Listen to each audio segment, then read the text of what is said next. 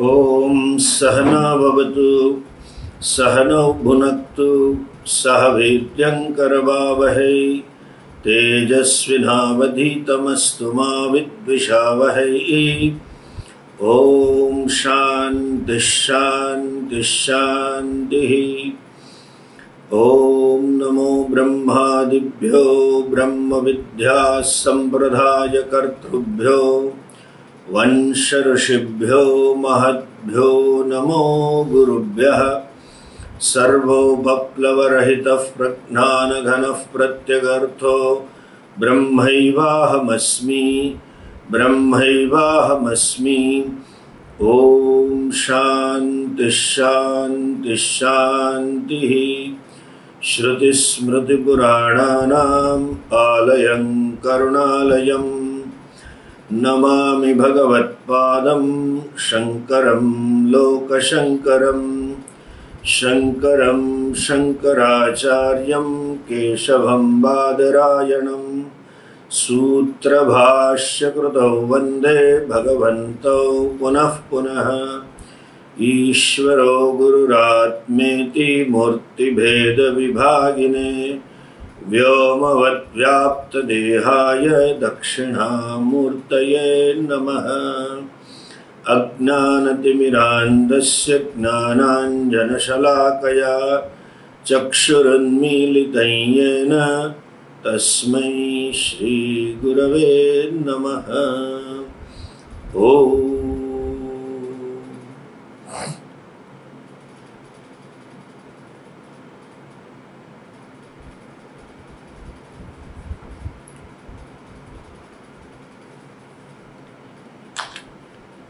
भगवत्पाद भाष्यकार आचार्य शंकर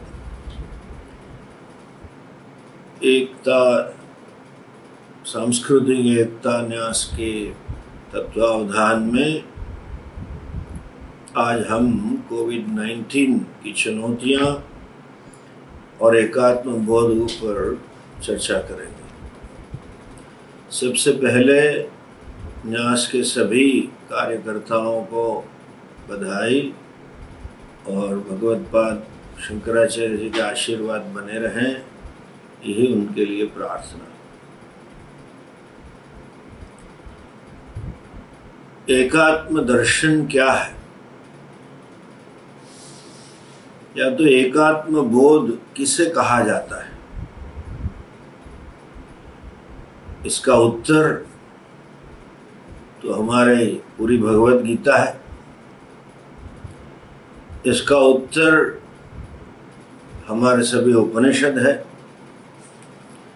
लेकिन अगर हमें सिर्फ़ एक ही वाक्य में उसका उत्तर दोना, देना हो, या हमें एकात्म बोध को सिर्फ़ एक ही वाक्य में समझाना हो तो उस तो इतना कह सकते हैं कि समूची सृष्टि सभी जड़ और चेतन पदार्थ एक ही तत्व की अभिव्यक्ति है। और वो एक तत्व जिसको हम ईश्वर कहें या परम ब्रह्म कहें, जो ज़्यादा ठीक रहेगा, पूरी उसकी अभिव्यक्ति है। ईशावास्यम इदम सर्व यत्किंच जगत्याम जगत। इस सृष्टि की रचना करने वाले परमात्मा कहीं स्थान विशेष में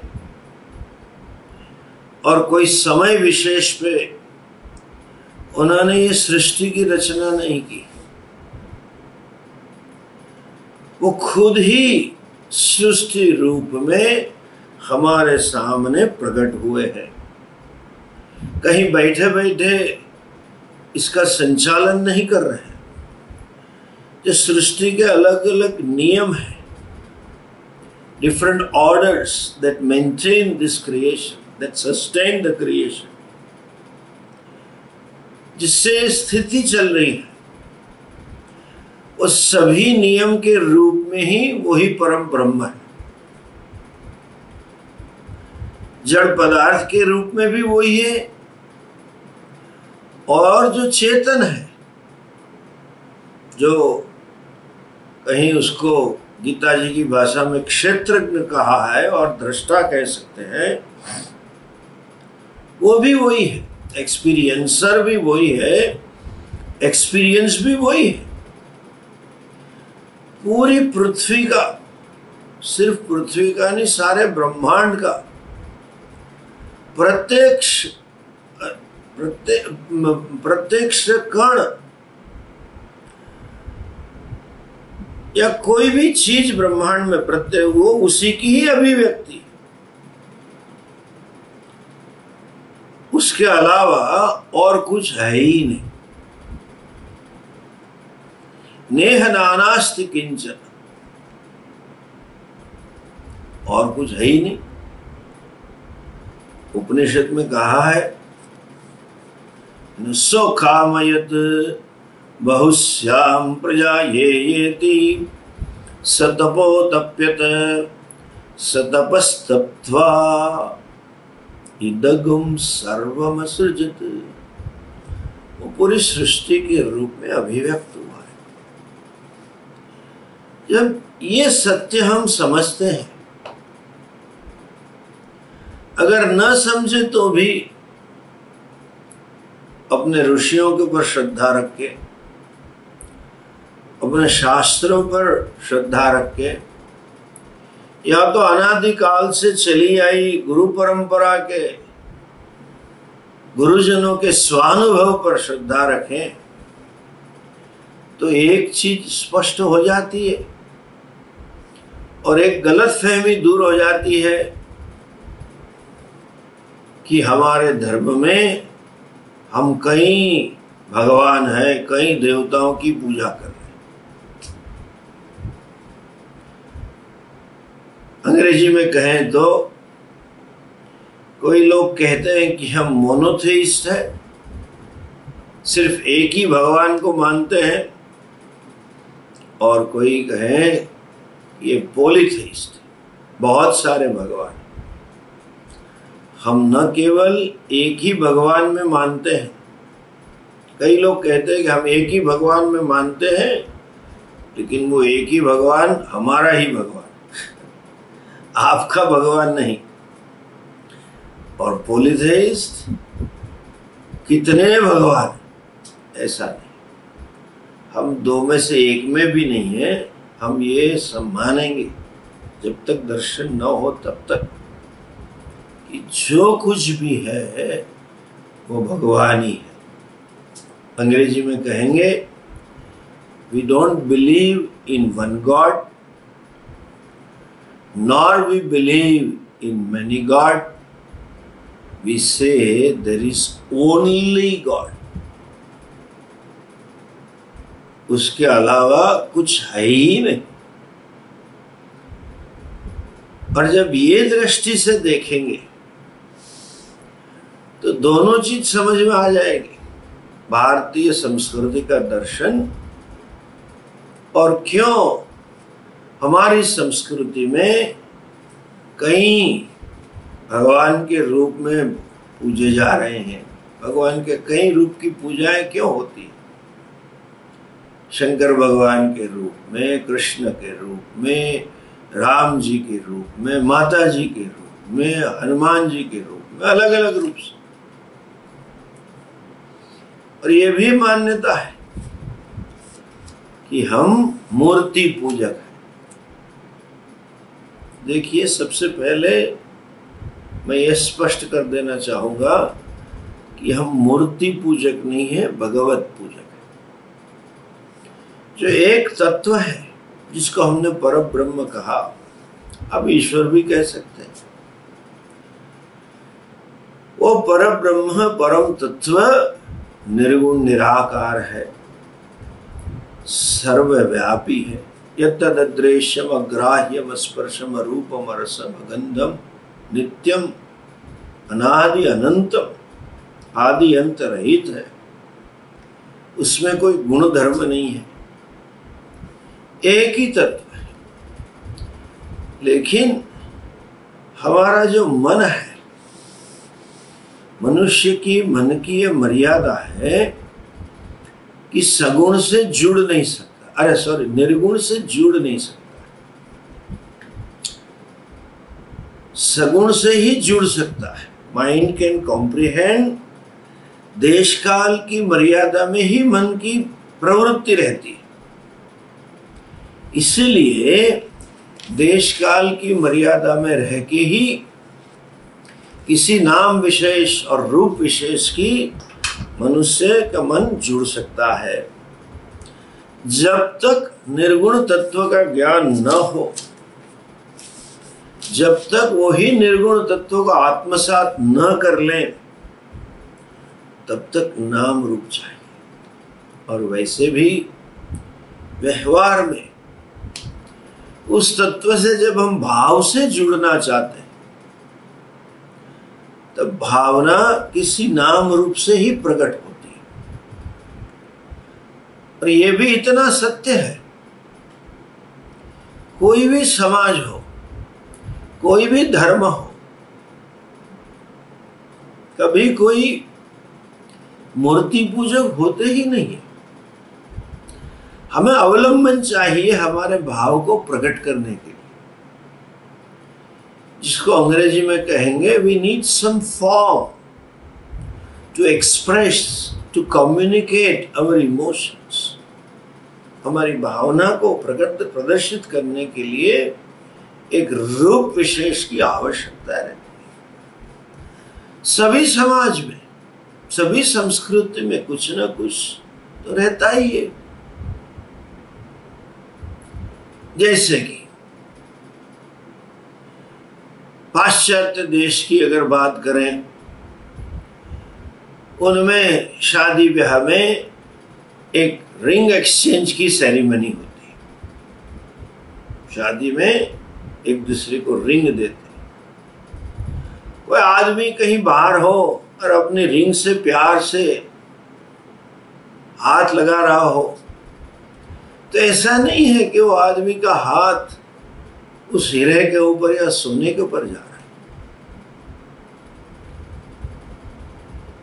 और रिंग के अलावा उसका मन अपने प्रियतम व्यक्ति के पास में इसको अंग्रेज़ी में कहेंगे he transcends the ring ring से पर हो जाता है।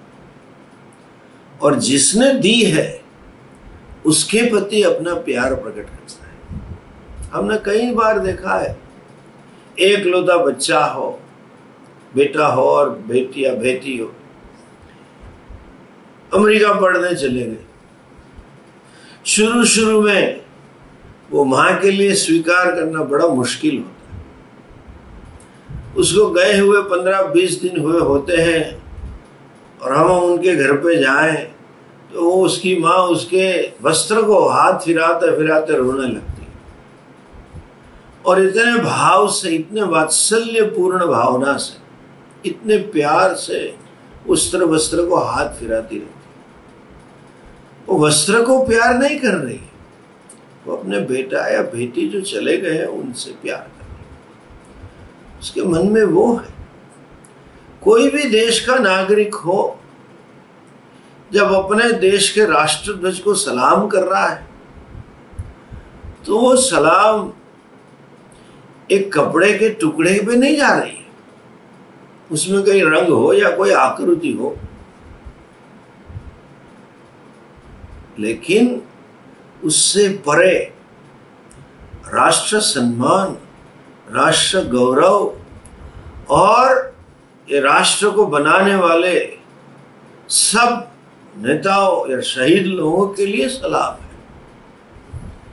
दिखावे में ऐसा लग रहा है कि वो वस्त्र को सलाम कर रहा है, लेकिन वो सलाम वस्त्र पे नहीं है, उसकी जो सल्यूट है राष्ट्र के प्रति। एक भारत के नागरिक होने के नाते मैं भारत के राष्ट्र ध्वज को अगर ऐसी सलामी दूँ तो मेरे हृदय में आदर का भाव वो वस्त्र के प्रति नहीं है, वो आदर का भाव भारत माता के प्रति है। मेरा समर्पण, जब मैं कहूँ कि मैं अपने देश के झंडे को नीचे गिरने नहीं दूँगा तो वस्त्र के लिए नहीं कह रहा।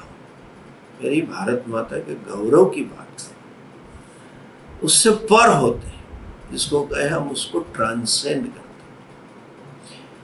बाह्य व्यक्ति जो जानता नहीं है कि हमारा राष्ट्र ध्वज है, उसका ऐसा लगेगा कि ये स्वामी जी किसी कपड़े को सलाम कर रहे लेकिन मेरे मन में जो सलाम कर रहा है, मेरे मन में भाव बिल्कुल अलग है। उसी प्रकार से कोई भक्त शिव जी के लिंग ऊपर अभिषेक कर रहा है। कोई दूसरा भक्त कृष्ण भगवान की मूर्ति को श्रृंगार लगा रहा है। कोई तीसरा भक्त भगवान रामचंद्र की जी की मूर्ति के सामने अर्चना कर रहा है। कोई चौथा भक्त हनुमान जी के सामने हनुमान चालीसा का पाठ कर रहा है। हमें लग रहा है कि वो मूर्ति की पूजा कर रहा है। नहीं, वो आदमी के मन में जो पूजा कर रहा है, उनके मन में वो पत्थर नहीं है। उनके मन में वो मार्बल नहीं है। उनके मन में वो साक्षात परमात्मा के प्रति अपना भाव प्रकट हुआ है they transcend the form nobody worships the idol they worship God nobody salutes the piece of cloth everyone salute their national spirit. When they salute their national flag, उसी तरह से हमारे जितने देव हैं, जब हम उनकी पूजा कर रहे हैं तो एक ही तत्व की पूजा। है उसमें प्रमाण भी है। अगर आप शिव पुराण खोल के देखें, विष्णु पुराण देखें, या भागवत जी देखें, या कुछ भी देखें वो यही कहा होगा कि तुम ब्रह्मा तुम विष्णुस्तम रुद्रस्तम इंद्रस्तम ब्रह्म भूर्भुवस्वर आप सभी है, परम ब्रह्म सभी रूप में प्रकट होते हैं। गणपति जी हो तो भी सभी रूप में प्रकट हो रहे शिव जी है तो सभी रूप में। क्यों? एक ही तत्व की सर्वत्र अभिव्यक्ति। जैसे हमारे प्रति किसी को सम्मान प्रकट करना हो तो हमने कई प्रकार से अभिव्यक्तियाँ देखी है। कई लोग हमारे मत्थे पे पुष्प रखते कई लोग हमारे कपाल में चंदन करेंगे, कुमकुम करेंगे। कई हमारे गले में माला डालेंगे। कई हाथ में हमें पुष्प गुच्छ देंगे। कोई हमें साष्टांग प्रणाम करेंगे। या तो अर्ध साष्टांग करेंगे, या तो सिर्फ़ नमस्कार करके मत्था नीचा करेंगे। कहीं पे भी आप कुछ भी करो, मत्थे पे रखो या माला रखो या चंदन, हमने ऐसे संप्रदाय देखे जहाँ हाथ में चंदन लगाया जाता है गुरु जी के अंगूठे पे लगाया जाता है। कोई चरण की न केवल पूजा कर रहे हैं, उसके चरणामृत ले रहे हैं। पूरे शरीर में मैं सर्वव्यापी हूँ। इसलिए कहीं भी मेरा स्पर्श हो तो पूरा पूरी व्यक्ति मेरे प्रति आदर प्रकट होता है। कोई भी घाट पे जाइए, और नर्मदा जी की पूजा कर लीजिए। तो पूरी नर्मदा जी की पूजा है। इसीलिए हमारे पुरखों ने, हमारे ऋषियों ने, हमारी परंपरा में कई ऐसे विग्रह दिए हैं, जिसको हम भगवान के रूप में, प्रतीक के रूप में देखते हैं। वो परंपरा से प्राप्त किसी की भी पूजा करें, जैसे कोई भी घाट पे जाके नर्मदा जी या गंगा जी की पूजा करते हैं तो भाव ये होता है, पूरी नर्मदा मैया, गंगा मैया की पूजा है, उसी प्रकार कोई भी रूप में हम पूजा करें तो सर्वव्यापी परमात्मा की पूजा है। इसीलिए एकात्म दर्शन जो है, हमारी दृष्टि में पवित्रता हमारे जीवन में पवित्रता प्रदान करता है। ईशावास्यम इदम सर न केवल एक मूर्ति में हम भगवान को देखें it is like laboratory experiment pilot plant फिर जाके बाहर सर्वत्र हमें ईश्वर का दर्शन है। और जब तक हम सर्वत्र ईश्वर का दर्शन नहीं कर सकते हैं, तब तक हम वही भावना से जिए।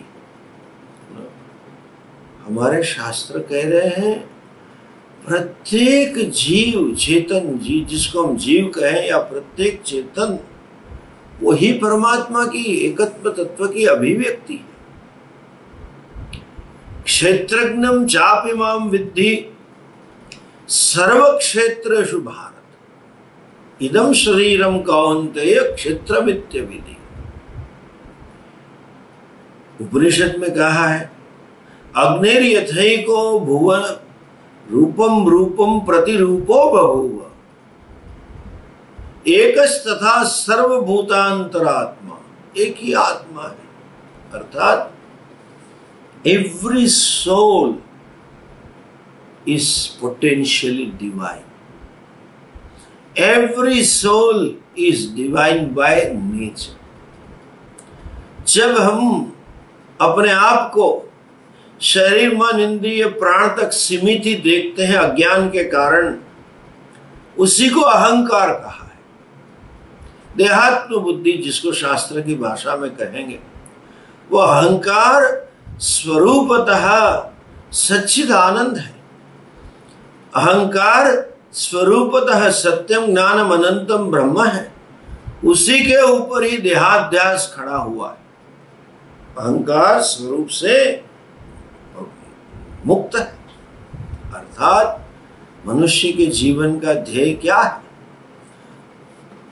अपनी जो दिव्यता है स्वरूप की, उसको प्रकट करना है। अपने दिव्य स्वरूप को जानना है, अपने दिव्य स्वरूप को प्रकट करना है। एकात्म दर्शन हिंद का ध्येय क्या है? न केवल अपने आप की दिव्यता को प्रकट करना है, किंतु सब में एक ही दिव्य आत्मा है, वो दर्शन करना है। सर्वत्र दिव्यता का दर्शन करना है। तुलसीदास जी की भाषा में कहे तो सिया राम मैं जग जानी, करहु प्रणाम जोरी बात सब जगह पे। सिया राम का दर्शन करना है। गीता जी की भाषा में कहे तो सर्वभूत स्तमात्मान सर्वभूतानि चात्मनि ईक्षते योग युक्तात्मा सर्वत्र समदर्शन। एक आत्म दर्शन का अर्थ है, सर्वत्र समदर्शन के रूप में जीना। जिसके जीवन में जो महापुरुषों ने ये बोध प्राप्त कर लिया है, उनके जीवन में समदर्शन स्वाभाविक है। इसलिए ये वाक्य उनके लिए कहा गया, शब्द उपयुक्त किया है, सर्वभूत हितेरता उनका पूरा जीवन एक आहुति समान है। जो शेष प्रारब्ध बचा है, वो प्रारब्ध किसमें व्यय होगा? सबके कल्याण मात्र के लिए। इसीलिए तो ये प्रार्थना है, सर्वे भवंतु सुखिनः, सर्वे संतु निरामया, सर्वे भद्राणि पश्यन्तु, माँ कश्चित दुख भाग भवे प्राणी मात्र में किसी के जीवन में दुख न हो। इसीलिए उनकी ये दृष्टि है, वसुधैव कुटुंबकम, ये महात्मा की दृष्टि जब ये दृष्टि आती है तो उनका व्यवहार कैसा होता है? बड़ी अच्छी व्याख्या भगवान ने ऐसे महापुरुषों की जीवनी के लिए दी है। हम तो यहाँ तक कहेंगे, यही सही योगी है। अर्जुन ने जो कहा, योयम योग स्वया प्रोक्त साम्य न मधुसूदन। योग समत्व बुद्धि को ही भगवान ने योग ऐसे महापुरुष जीवन में सुख में, दुख में, हानि में, लाभ में, विजय में, पराजय में सब जगह पे समता रख सकते हैं, समत्व का दर्शन करते उतना ही नहीं, न केवल अपने व्यक्तिगत जीवन में समत्व ऐसी बात नहीं है, लेकिन दूसरे के सुख को भी अपने ही सुख की तरह देख सकते दूसरे के दुख को भी अपना ही दुख की तरह देख सकते आत्मौपम्येन सर्वत्र समम पश्यत योर्जुन सुखम वा यदि वा दुखम सयोगी परमो मता। भगवान कहते हैं, मेरे मत में परम योगी है। आत्मोपम्य ना अपने आप की उपमा से, अर्थात दूसरे जिसको अंग्रेज़ी में कहे एम्फेथेटिक पर्सन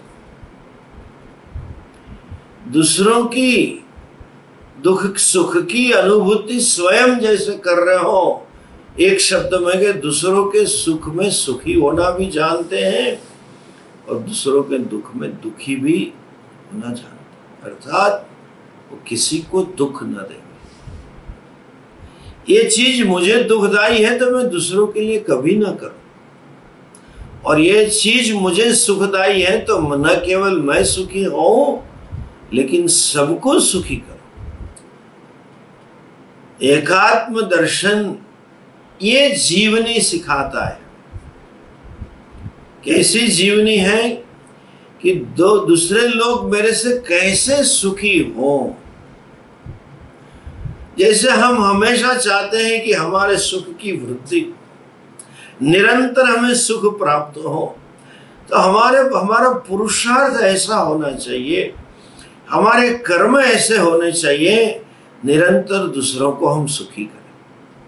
उनके दूसरों के सुख की वृद्धि करें। और ये भी हम चाहते हैं कि अणुमात्रम दुखम माँ भूत, छोटा सा भी दुख मेरे जीवन में ना आओ। तो हम ऐसे कर्म न करें ताकि दूसरों को जरा भी तकलीफ़ हो, दूसरों को जरा भी दुख हो जिसको कहेंगे ऑलवेज कॉन्ट्रीब्यूटरी लाइफ अपने आप का भली समय समय का, शक्ति का, सामर्थ्य का बलिदान देते रहते हैं, दूसरों को सुखी करने ये जागरूकता के साथ जीते हैं कि कभी किसी को दुख न पहुँचे। जब इस समय पूरा विश्व और हमारा देश कोविड 19 से जूम रहा है। इसकी चुनौतियों से, चुनौतियों का सामना कर रहा है। तो एकात्म बोध से तुम इतना तो होना ही चाहिए। मैं किसी को दुख देने में, इतना भी दुख देने में निमित्त न हो। एकात्मदर्शी व्यक्ति को पूर्ण रूप से अहिंसक हमें मालूम नहीं होता है कि हम पॉजिटिव कोरोना पॉजिटिव है या नेगेटिव या हम एसिम्टोमेटिक भी हो सकते हैं। तो इतना तो ख्याल रखें, पता नहीं हम क्या है। तो हमेशा अपने आप मुँह को ढक के चले, ताकि शायद कहीं हो तो मैं किसी दूसरों को दुख देने के लिए निमित्त न मुँह हमारा बंद हो और हमेशा सैनिटाइजर का उपयोग करते रहें। और इतनी जागरूकता से जिए कि भगवान हम किसी के दुख के निमित्त ना बने। इतना ही नहीं, जैसे रंती देव ने कह दिया, भगवान, सुना है कि सबके हृदय में आप विराजमान हैं। तो मैं आपसे ये माँगता हूँ कि आपके साथ मुझे भी बिठा लो हृदय में। और सभी प्राणियों के जो दुख हैं, वो मैं हरण करूँ। ये भाव से हमारा जीवन चले। अगर हम ऐसे काम ना कर सके, हमारी मर्यादा हो सकती है। संसाधनों की मर्यादा हो सकती है, समय की मर्यादा हो सकती है, अवस्था की मर्यादा हो सकती है, शरीर की मर्यादा हो सकती है। तो कम से कम ये प्रार्थना से तो चले। हम निरंतर परमात्मा से प्रार्थना करें। ये कोविड नाइन्टीन तो मुझे लग रहा है कि रक्त बीज राक्षस जैसा है। पुराणों में कथा होती है कि वो राक्षस ने ऐसी ऐसा वरदान मांग लिया था, मेरे खून के एक बिंदु ज़मीन में पड़े तो दूसरा मेरे जैसा खड़ा हो जाए भद्रकाली माँ ने ऐसा अवतार लिया कि उसका सारा खून भी। माता जी से प्रार्थना करें, एक कोविड रक्तबीज जैसा राक्षस आया हुआ है। पूरे मानव समाज को, पूरे राष्ट्र को ऐसी शक्ति दें कि हम इस महामारी से मुक्त हो। हम अपने जीवन में जागरूकता अपनाएँ। अर्थात मर्यादा अपनाएँ एक चीज़ भी, जब लॉकडाउन हुआ तो कई लोगों ने हमें बताया, सबको सीखने मिल गई। आज के जमाने में दो चीज़ें बड़ी उभर के आई। तो नए शिक्षा मिली। एक तो हम संसाधनों का दुर्व्यय बहुत करते रहते अनावश्यक उपभोग और अनावश्यक प्रवृत्ति। अर्थात जीवन में स्वतंत्रता के नाम पे पता नहीं समाज स्वच्छंदता की ओर जा रहा था। एकात्म आई मीन कोविड नाइन्टीन ने हमें सिखाया, हमारे जीवन में मर्यादा होनी चाहिए। हम आन अनावश्यक संसाधनों का उपयोग न करें। हमारे शास्त्र में यहाँ तक कहा है, अनावश्यक चीज़ों का उपयोग करना, उपभोग करना, उसका दुर्व्यय करना तो हिंसा है। अच्छा प्रसंग हमने सुना है गांधी जी के जीवन से। गांधी जी अहमदाबाद में आश्रम में जब रहते थे, आश्रम के पीछे से ही साबरमती नदी जा रही है। उस जमाने में नदी के पानी से ही सब जीवन के व्यय नित्य क्रम होते रहते थे। तो आज भी गांधी आश्रम में कलश लिखा हुआ है वहाँ म्यूज़ियम में गांधी जी का कलश कर। सुबह में गांधी जी दातुन करते करते जाते थे और वह कलश भर के ही पानी लेते थे। और उसने में कुल्ला कर लेते थे, मुँह साफ़ कर लेते थे जीप साफ़ कर लेते थे और वापस आते थे। कभी भी दूसरा कलश या थोड़ा बहुत भी पानी नदी से नहीं लेते। किसी ने पूछा, लोग कहते हैं कि वल्लभ भाई सरदार ने नहीं पूछा, सरदार वल्लभ भाई ने ही पूछा। वैसे तो गुरु शिष्य थे, लेकिन मित्र भाव भी था, गांधी जी की विशेषता लीडर ऐसा होना चाहिए कि अपने साथ काम करने वाले मुक्त मन से कह सके। तो उन्होंने कहा कि गांधी जी, आप इतनी मर्यादा से क्यों पानी लेते इतना पानी बह रहा है, ले लो, ज़्यादा उसमें क्या फ़र्क पड़ता है? थोड़ा माइजर जैसी बात कर रहे आप कर रहे हो, व्यवहार कर रहे हो। गांधी जी ने बहुत अच्छा उत्तर दिया। उन्होंने कहा कि पानी बहुत है, पूरी साबरमती में बह रहा है, और आपने ठीक कहा, वो समुद्र में ही जाके मिल रहा है। लेकिन वो पानी अनावश्यक जा रहा है कि आवश्यक वो भगवान को मालूम है। और वो भगवान ने जब ऐसी रचना की है तो आवश्यक ही समुद्र में जाना आवश्यक है। मुझे छुट है मेरी आवश्यकता के मुताबिक लेना, लेकिन बिगाड़ करना मुझे अधिकार नहीं है। पानी का बिगाड़ करना भी वो मेरे लिए हिंसा है। आज देश में संसाधनों का बिगाड़ था, पानी का बिगाड़ था इलेक्ट्रिसिटी का भी बिगाड़ होता है।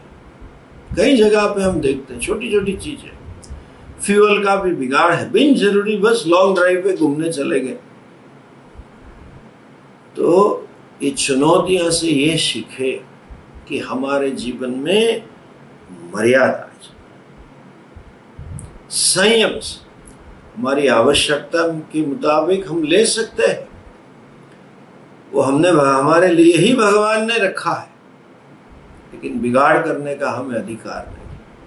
ये बोध हमें एकात्म दर्शन देता है। दूसरी चीज़, आज जिसको कहेंगे ग्लोबलाइजेशन का जमाना है, सब क्षेत्र में वैश्विक रूप से हमारी हमें सोचना पड़ता है। देश का शासन, कोई प्रदेश का शासन भी अकेले अपनी ही सोच से नहीं चला सकते, सबके बारे में सोच के ही चलाना चलता है। उसी तरह से सभी देशों को ग्लोबली सोचना पड़ता है। व्यापार में भी ग्लोबलाइजेशन खाने पीने की आदतें, वस्त्र परिधान, सब में धीरे धीरे ग्लोबलाइजेशन आ रहा है। ऐसे देख लिया जाए तो पूरा विश्व एक दूसरे से जुड़ गया। हम कोई इंडिपेंडेंट आइलैंड की तरह नहीं है। Your whole existence is connected COVID nineteen से तो पता ही चलता है। चाइना में शुरू हुआ, पूरा विश्व में असर हो गई कहीं देश में इंटरनेट की खोज हुई, आज पूरा विश्व उसी के ऊपर ही चल रहा है। कहीं टेलीफोन की खोज हुई, आज वो चल रहा है, पूरा विश्व उसी के साथ। तो सब ग्लोबलाइजेशन का जमाना। है जिसको अंग्रेज़ी में कहे सिम्बायोटिक लाइफ इंटरडिपेंडेंट हमारा अस्तित्व है। लेकिन हमें जब लगता है तो हम देखते हैं कि आजकल परस्पर हम जुड़े हैं, बाह्य रूप से जुड़े हैं। अंदर से एकात्म का भाव नहीं स्पर्धा का भाव। ग्लोबलाइजेशन के साथ इसको एरा ऑफ़ कंपटीशन भी कहा, स्पर्धा का युग है। और हम ये देखते हैं, स्पर्धा नहीं है युद्ध का युग है। सिर्फ़ उससे अच्छा करना ऐसा नहीं है। मैं ही सर्वश्रेष्ठ हूँ। मैं ही सबको ग्रहण कर लू। सबसे ज़्यादा संपत्ति संसाधन मेरे हो। व्यापार में तो स्पष्ट दिख रहा है। मेरी कंपनी के पास मोनोपॉली हो। दूसरे के पास कुछ ना हो और उसको मर्जर कर ले, जैसे बड़ी मछली छोटी को खा जाए। एक दूसरे को एक दूसरे के प्रति असहिष्णुता और एक दूसरे को विनाश करने की भावना। एकात्म बोध हमें सिखाता है, हम परस्पर विनाशकारी नहीं, सहकारी। जो सरकार का सूत्र वाक्य है ना, सबका साथ, सबका विकास। इतना ही नहीं, आज परस्पर असहिष्णुता है, जैसे हमने कहा, किसी के ऊपर विश्वास नहीं। संबंध भी जब तक काम है, तब तक है। तो सबका विकास और सबका विश्वास। एकात्म बोध पूरे विश्व को अंत में हम एक ही उपमा देके पूरा करेंगे। बड़ा प्रचलित पुरुष सुक्त नामक एक स्तोत्र है। सहस्त्र शीर्षा पुरुष सहस्राक्ष सहस्त्रपात एकात एक तत्व के बड़े पुरुष के रूप में परिकल्पित किया हुआ। ये हमारा शरीर है, इसीलिए पूरा विश्व, पूरा ब्रह्मांड उसी का ही स्वरूप है पर ब्रह्म परम तत्व का। देखिए, इस शरीर में शरीर के प्रत्येक अंग एक दूसरे के पूरक है, एक दूसरे के सहायक है, एक दूसरे के विकास के लिए काम कर एक दूसरे का दुख दूर करने के लिए काम सामने कोई पत्थर पड़ा है या कांटा पड़ा है आँख दिखाएगी, तुरंत पाउंड हट जाएगी। अगर चुभ गया तो हाथ हाथ में आ जाएगा, निकाल देगा। हम खाना खाएँगे, सब खाना पेट में जाएगा, लेकिन उसके जो पोषक तत्व हैं, वो सब निकाल के पेट सभी अंगों को पहुंचाता है।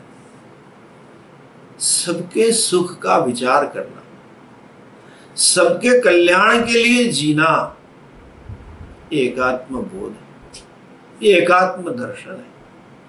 और परस्परम प्रत्येक अंग शरीर के एक दूसरे के सहायक है, एक दूसरे के पूरक है।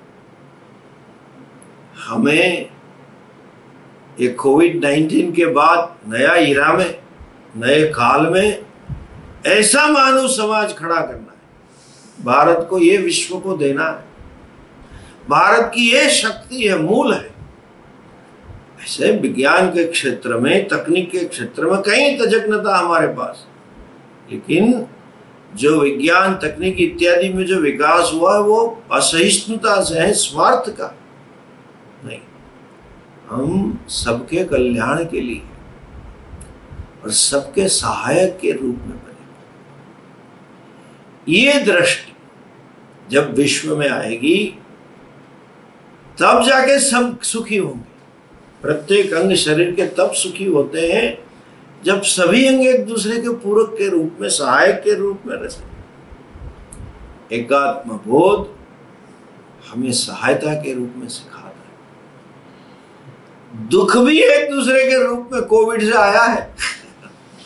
परस्पर सहवास से ही निकल रहा है। लेकिन जब उस महामारी से विश्व बाहर निकल आए तो व्यापार में, राज्य शासन में, सामाजिक जीवन में, सब जगह में स्पर्धा ज़रूर हो, लेकिन हम ये भाव खड़ा करें, सबका साथ, सबका विकास और सबका विश्वास आज समाज में असहिष्णुता है, अविश्वसनीयता का वातावरण है। उस चाहे कितने भी समृद्धि हो, लेकिन असहिष्णुता और अविश्वास के कारण उसका फल हम नहीं पा रहे हैं। एकात्म बोध हमें ये सब पूरे सृष्टि को सुखी करेंगे। सर्वे भवंतु सुखी न उसमें न केवल मानव समाज, प्राणी समाज वनस्पति सृष्टि जलचर खेचर पशु सृष्टि, पंखी सृष्टि, सब, सबके कल्याण के लिए हम जिए, वो भावना से जिए। ये जीवन रीति हमारी, क्योंकि हमारा ध्येय एकात्म बोध वो प्राप्त करने के लिए भाव से हमारी, वो भाव रखें तब तक, वो भाव से कर्म करते जाएँ, ताकि एक दिन हमारे जीवन में दृष्टि आए, ये दृष्टि हम पूरे विश्व को प्रदान करें और भगवान हमें ज़रूरी शक्ति दे। भगवत पाद शंकराचार्य जी और उनके पूर्वज सभी आचार्य नारायणम पद्म भुवम शक्तिम चतत्पुत्र परा नारायण से लेके सदाशिव समारंभ वहाँ से लेके जो एकात्म दृष्टि भगवान से हमें जो मिली हमारे वेदों में, उपनिषद में है वैसे समय समय पे महापुरुष आते रहे तो समाज में पुनः ये प्रस्थापित करते रहे, जैसे भगवत पाद शंकराचार्य जी ने किया, वैसी ही शक्ति भगवत पाद शंकराचार्य जी हम सबको प्रदान करें। यही शुभकामना और भगवत पाद से और भगवान सदाशिव नारायण से आशीर्वाद मांगते हुए, ओम नमो नारायण। ॐ पूर्णमदः पूर्णमिदं पूर्णात् पूर्णमुदच्यते। पूर्णस्य पूर्णमाधाय पूर्णमेवावशिष्यते। ॐ शान्तिः शान्तिः शान्तिः। हरिः ॐ श्रीगुरुभ्यो नमः। हरिः ॐ।